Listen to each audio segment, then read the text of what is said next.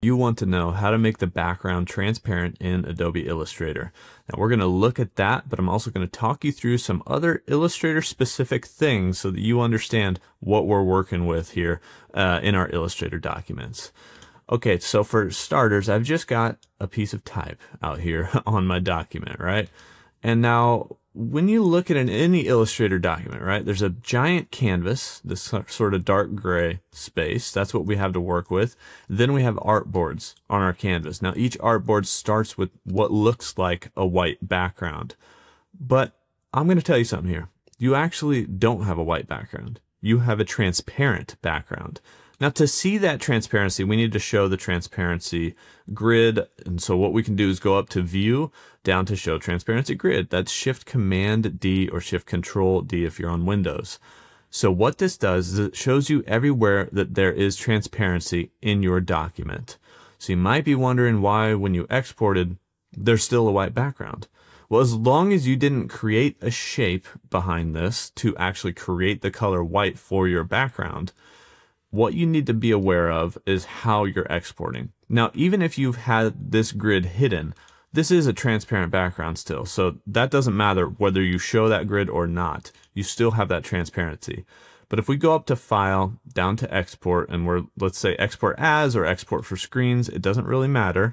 Basically, we can select whether we export certain assets or any element in our Illustrator document, or if we're exporting artboards. Exporting artboards is going to just take any artboard and let you select within the bounds of the edges of that artboard what to export. So it's going to export that whole artboard.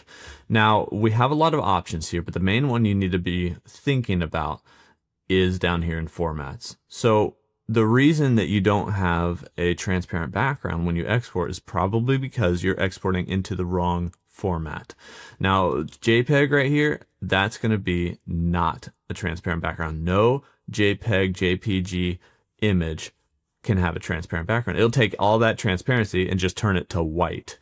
What can have a transparent background that's like an equal image to JPEG is a PNG these PNG files can include those transparent backgrounds, and that's likely what you'll want to export. Now, both those file types are created from pixels, so they're bitmap images, they're rastered, which means they have a specific file size or resolution, and they're only good as far as 100% quality at that specific resolution. So you make them as, as big as you want, basically. Now, if you want vector files, those can be SVG or PDF.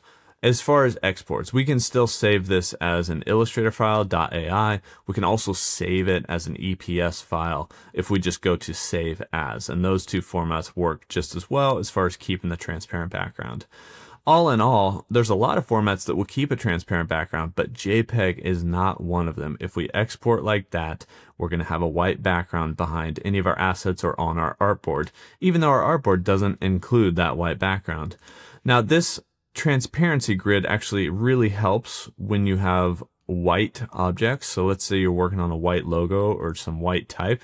Right now I can't even see that here. So I would go up to view down to show transparency grid and now I can actually work with those white objects on top of my artboard background because I can see where the transparency is and now I can actually see the white that's going to get exported.